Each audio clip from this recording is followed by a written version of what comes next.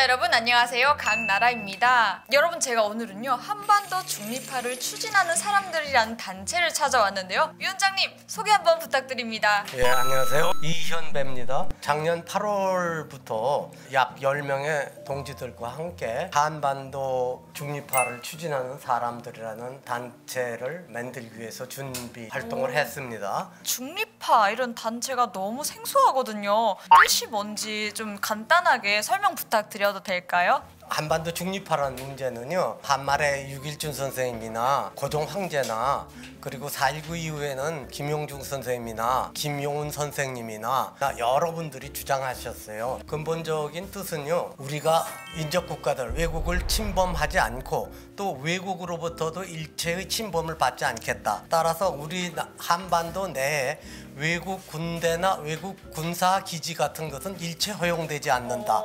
이런 주의예요. 네 이게 왜 필요한지도 저는 의문이 생기거든요 어, 20세기는 우리나라에서는 자주성을 상실한 시대예요. 그래서 어, 일본의 식민지도 겪고 지금 현재 상대국들의 부당한 간섭도 받고 지금 그래요. 이것을 전부 다 배제하자.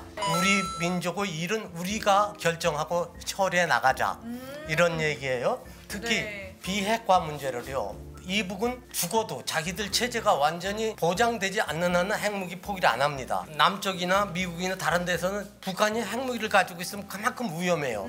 그러니까 지금 중립화를 해서 남과 북이 모두 중립화를 해서 외국 군대를 다 없애고 그다음에 우리는 최소한의 병력만을 네. 갖게 되면 자연히 핵무기를 포기하게 되거든요. 이제 그런 형태로 해서 우리가 이제 중립화를 해야 된다. 네네. 그리고 뒤따른 통일도 해야 된다. 네, 음, 음. 궁금한 게 이 단체 혹시 저희 가 알고 있을 법한 그런 분들도 계신가요? 많죠. 어 그래요? 많아요. 우선 정계에 있던 분으로 얘기하면 원혜영 사선 의원, 강창일 의원, 안경률 삼선 의원, 이홍 퇴임해서 명예교수를 하고. 있는 교수들이 근 100명입니다. 그 다음에 이제 이명춘 변호사 하나 있고 소설가, 또 시인, 창작 판소리 하는 임진택 씨, 뭐 이런 사람들이 있고 지금은 상황이 좀 많이 안 좋지만요. 위원장님 또 우리들의 마음처럼 한반도에도 평화가 곧 찾아왔으면 좋겠습니다. 네, 여러분 제가 오늘은요. 평화를 염원하는 마음을 담아 미니 인터뷰를 진행해 보았는데요. 좋은 단체를 알게 된 것 같아서 통일로 가는 발걸음이 한결 더 가벼워진 것 같습니다. 네, 오늘 영상도 재미있었다면 좋아요, 구독 꼭 부탁드릴게요. 위원장님도 한번 안녕히 계세요 이렇게 해주시면 안 돼요? 안녕히 계세요. 계세요.